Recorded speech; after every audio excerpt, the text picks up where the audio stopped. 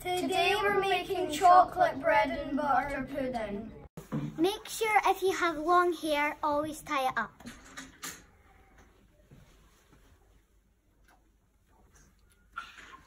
Make sure you wash your hands before cooking. And also between cooking.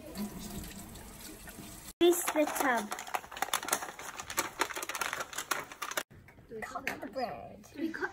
Where are the bread?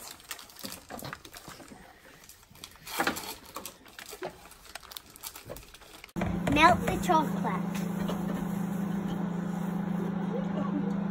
Where's all the bread with chocolate? Crack three eggs.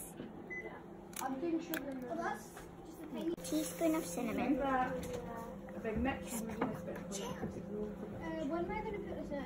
Add a teaspoon of vanilla extract. I've heard that.